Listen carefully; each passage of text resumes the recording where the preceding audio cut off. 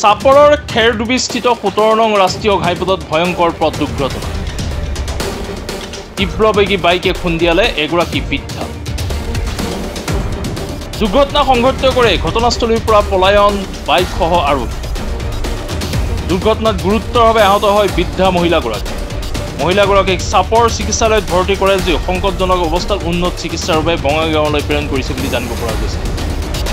আহত মহিলাগৰাকীৰ মহাৰাণী বিবি বুলি জানিব পৰা গৈছে। পুনৰবাৰ জনাইছোঁ, চাপৰৰ খেৰডুবিস্থিত সোতৰ নং ৰাষ্ট্ৰীয় ঘাইপথত ভয়ংকৰ পথ দুৰ্ঘটনা। তীব্ৰবেগী বাইকে খুন্দিয়ালে এগৰাকী বৃদ্ধা। দুৰ্ঘটনা সংঘটিত কৰি ঘটনাস্থলীৰ পৰা পলায়ন কৰে বাইকসহ আৰু। দুৰ্ঘটনাত গুৰুতৰভাৱে আহত হয় বৃদ্ধা মহিলাগৰাকী। বৃদ্ধা মহিলাগৰাকীক চাপৰ চিকিৎসালয়ত ভৰ্তি কৰে যদিও সংকটজনক অৱস্থাত উন্নত চিকিৎসাৰ বাবে বঙাইগাঁৱলৈ প্ৰেৰণ কৰিছে বুলি জানিব পৰা গৈছে। আহত মহিলাগৰাকীৰ মহাৰাণী বিবি বুলি জানিব পৰা গৈছে। খেৰডুবিত মানে বাইকৰ লগত এক্সিডেণ্ট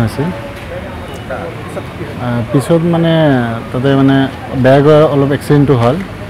হোৱাৰ পিছত মানে আমি চাপৰ হস্পিটেললৈ প্ৰেৰণ লৈ অহা হৈছে। ইয়াৰ পৰা মানে উন্নত চিকিৎসাৰ বাবে বঙাইগাঁৱলৈ প্ৰেৰণ কৰিছে। মহাৰাণী দেৱী। বয়স ছেভেণ্টি ফাইভ ঘৰ শ্ৰীগ্ৰাম পাৰ্ট ছিক্স খেৰডুবি বুলি কয়। আহততো গুৰুতৰভাৱে দেখা গৈ আছে।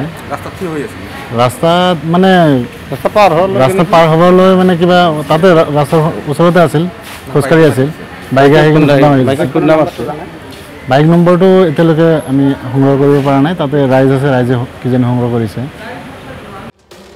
চাপৰৰ পৰা সুজল জামানৰ ৰিপৰ্ট মাই নিউজ এন।